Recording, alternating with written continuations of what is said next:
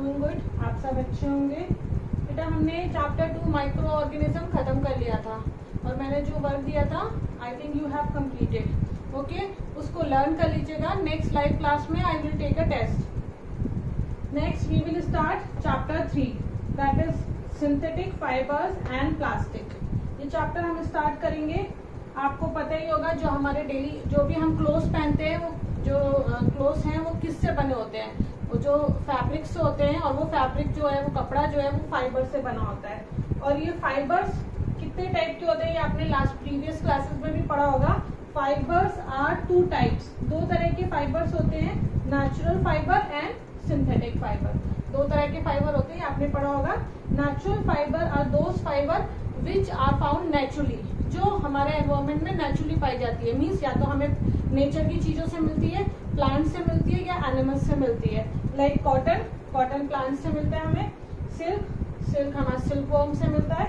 ऐसे ही दूसरा फाइबर जो है that is called synthetic fibre synthetic fibre जो बेटा होता है that is human made fibre man made fibre होता है। इसको आर्टिफिशियल फाइबर भी कहते हैं, और इसके एग्ज़ाम्पल है रेन नाइलॉन इसको ह्यूमन बनाता है, ठीक है? ये कहीं नेचुरली अकर नहीं होता है हमारे एनवायरमेंट में। तो दो तरह के फाइबर होते हैं। इस चैप्टर में हम सिंथेटिक फाइबर और प्लास्टिक के बारे में पढ़ेंगे। इसके बारे में पूरा डिटेल में पढ़ेंगे। तो then let's we start from books okay तो वॉट आर सिंथेटिक फाइबर्स ठीक है? ये हम पढ़ेंगे। Try to recall the uniform pattern found in a necklace और beads join with the help of a thread or try to join a number of paper clips together to make a long chain. As in figure 3.1 is there any similarity between the two कह रहे हैं, एक activity करने को दे रहे हैं बेटा आपको। कह रहे हैं, एक नेकलेस आप एक बीड्स लीजिए, उसको ज्वाइन कर करके एक माला बनाइए। ठीक है? जिस तरह से इसमें बनाई गई है। और ये जो क्लिप आती हैं, इनको भी ज्वाइन कर करके एक आप एक लॉन्ग चेन बनाइए। ठीक है? तो आपको आप इसमें देखिए देर आर सिमिलरिटी इन दोनों में कोई सिमिलरिटी है? A synthetic fibre is also a chain of small unit join together कह रहे हैं, जो सिंथेटिक फाइबर होता है, ये भी एक चेन की तरह होता है स्मॉल यूनिट की चेन होती है, जो कि एक साथ ज्वाइन होकर के बनती है। Each small unit is actually a chemical substance many such small unit combine to form a large single unit call a polymer कह रहे हैं कि हर स्मॉल यूनिट जो होती है, एक केमिकल सब्सटेंस होता है, और बहुत सारी यूनिट इस तरह की मिल करके एक लार्ज सिंगल यूनिट बनाती हैं, जिसे कि हम क्या कहते हैं? पॉलीमर समझ गए? मतलब ये है कि सिंथेटिक फाइबर जिन चीज़ों से मिलकर के, जिन यूनिट से बन, मिलकर के बनता है देट आर केमिकल ओके और ये स्मॉल यूनिट जो होते हैं केमिकल के ये सब्सटेंस होते हैं, ये मिलकर के जो लार्ज यूनिट बनाते हैं that is called polymer the word polymer comes from two Greek word poly poly meanings many and mer meaning per unit polymer जो है बेटा, दो वर्ड से मिलकर के बना हुआ है। पॉली मीन्स होता है मैनी और मर माने होता है पर यूनिट ठीक है? तो ये बहुत सारी यूनिट मिलकर के एक लार्ज यूनिट बना रही हैं। So a polymer is made of many repeating units ठीक है? Polymer occurs in nature also cotton for example is a polymer called cellulose अच्छा कॉटन जो है, वो भी बहुत सारी यूनिट से मिलकर के बना है उसका फाइबर ठीक है? तो वो आपका क्या, किस किस यूनिट से मिलके बना है? सेलुलोज से। Cellulose is made up of a large number of glucose unit और जो सेलुलोज है, वो ग्लूकोज यूनिट से मिलके बना हुआ है। टाइप्स ऑफ़ सिंथेटिक फाइबर अब हम सिंथेटिक फाइबर के टाइप्स के बारे में पढ़ेंगे। फ़र्स्ट है आपका rayon You have read in class 7 that silk fiber obtained from silkworm was discovered in China and was kept as a closely guarded secret for a long time. ठीक है fabric obtained from silk fibre was very costly but it is beautiful texture fascinated everybody attempts were made to make silk artificially towards the end of the 19th century scientists were successful in obtaining a fiber having properties similar to that of silk such a fiber was obtained by chemical treatment of wood pulp the fiber was called rayon or artificial silk ठीक है? Although rayon is obtain from a natural source wood pulp yet it is a man made fibre it is cheaper than silk and can be woven like silk fibre it can also be dyed in a wide variety of colours rayon is mix with cotton to make bed sheet और mix with wool to make carpet ठीक है? तो जो rain होता है, वो भी synthetic fibre का ही टाइप होता है लेकिन और वो किस तरह के फाइबर से मिलता है, मिलता जुलता है? That is silk silk fibre से मिलता जुलता है। सिल्क फाइबर से ही ऑप्टे सिल्क फाइबर जो है वो आपका कहाँ से मिलता है? हमें सिल्क वॉर्म से।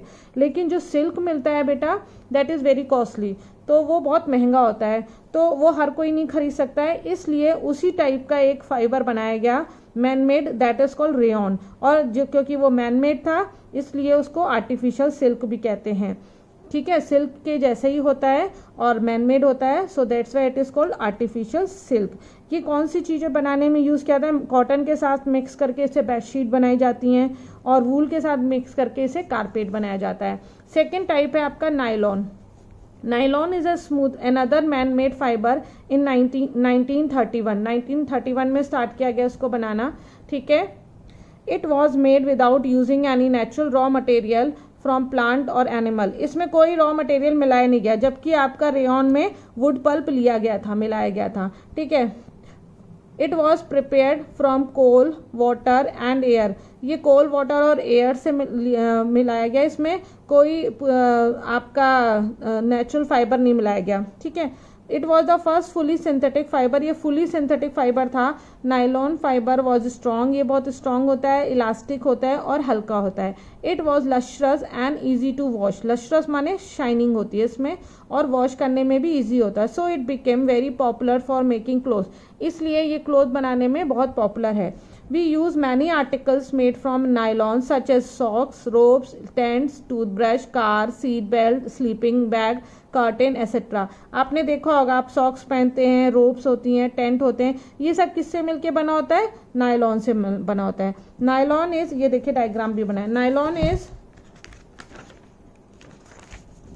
also use for making पर्टिक parachutes and rope for rock climbing a nylon thread is actually stronger than a steel wire.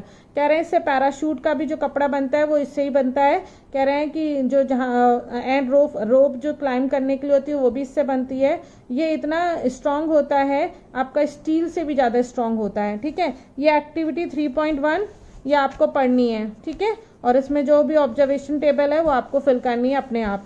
ठीक है? Polyester polyester and acrylic ये थर्ड टाइप है सिंथेटिक फाइबर का. Polyester is another synthetic fibre fabric made from this fibre does not get wrinkled easily it remains crisp and is easy to wash so it is quite suitable for making dress material you must have seen people wearing polyester shirt and other dresses terylene is a popular polyester it can be drawn into very fine fibres that can be woven like any other yarn PET is a very familiar form of polyester PET जो होता है, बहुत familiar form होता है polyester का. It is use for making bottle utensil film wires and many other useful products ये synthetic जो है सिंथेटिक जो प्लास्टिक है, ये पीईटी जो है, इससे आपका बॉटल्स यूटेंसिल फ़िल्म ये सब बनती हैं.